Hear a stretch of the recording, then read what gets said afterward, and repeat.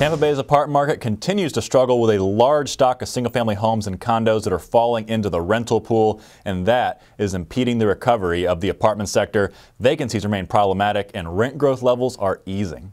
Welcome to Apartment Market Dynamics from MPF Research. I'm Jay Parsons with your Tampa Bay update. Tampa Bay's apartment market is one of the few nationally to see revenue growth levels decline from 2010 to 2011. Take a look at this chart showing annual revenue change by quarter, and you can see that year-over-year revenue growth levels hit 4.5% in Q1 2011, but they have eased in each of the past three quarters, downgrading Tampa from an overachiever to a below-average performer. Revenue growth for 2011 came in at 3.4%, well below the national average of 5.8%.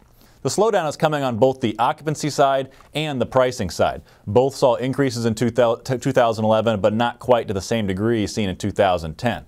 Let's take a look at a chart showing occupancy rates. Overall occupancy is now at 92.4%. That is down 0.3 points in the quarter, but up 0.5 points annually. And it's disappointing not to see more progress over the past year, given the number of vacancies here. But again, competition from the shadow market, those single family homes and condos that are offered for rent, are, and plus just the fact that there's way too many total housing options in the Tampa Bay area, that is just making it difficult to backfill apartment vacancies. And even in the top tier, which has generally done well all across the country and in the South, uh, the overall occupancy in the apartments built since 2000 remains below 94%. And on the pricing side, you can see here that the, the same trend that we saw the revenue change numbers. Year-over-year rent growth numbers have eased in each of the past three quarters from 3.8% in Q1 to just 2.9% in Q4. The U.S. average was 4.7% growth in 2011.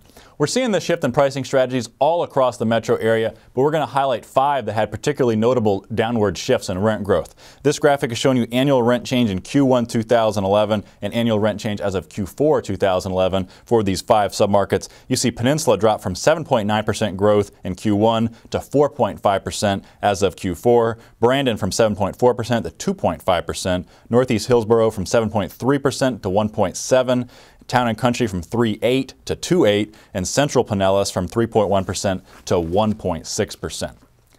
Now, Tampa is adding jobs again, and that is good to see, but the depth of the losses here from the downturn remains so deep that it's going to take a number of years for Tampa Bay's total employment levels to catch up to where they were prior to the recession. And when you add to that the fact that the shadow market of single family homes and condos offered for rent should remain a significant factor through 2012 at least, and that's going to make it difficult for the apartment sector here to see much progress in 2012. All in all, look for revenue growth levels in 2012 to be pretty similar to what we saw in 2011 for Tampa's apartment sector. And that wraps us up for Tampa Bay. So until next time for Apartment Market Dynamics and MPF Research, I'm Jay Parsons. Thank you for watching.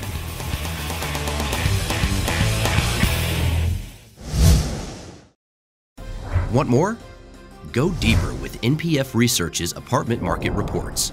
From a national level, down to individual metros, to specific neighborhoods, MPF Research has been providing unparalleled apartment market intelligence to the multifamily industry for almost five decades. Learn more by contacting us at 877 284 4938 or visit www.mpfresearch.com and click on Market Reports.